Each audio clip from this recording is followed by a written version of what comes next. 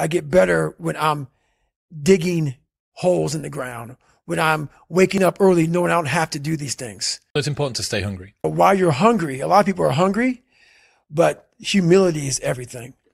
What was that story about William Crawford, the janitor? Yeah. So this guy won the Medal of Honor. So he won the Medal of Honor, and which is the highest award in the military. And this guy went to the Air Force Academy and he was a janitor. And no one knew who the fuck this man was. He had the highest award in all the military for heroics. For heroics, saving lives, putting his life on the line. Could have, you know, could have been killed. And he is now basically, you know, cleaning shitters for young kids. And we can all imagine how that probably went. You know, there's probably some, you know, a little bit of taunting here and there. And he just sat there and cleaned the shitter.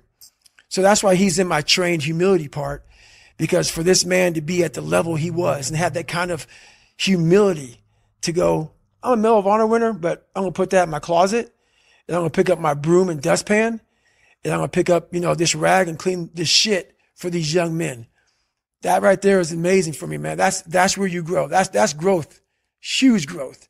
And also it shows that he was doing his job. He was a servant.